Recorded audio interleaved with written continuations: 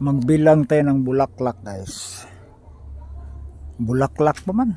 Ayan, isa 1, 2, 3 4 may bunga na sa taas guys. Ayan o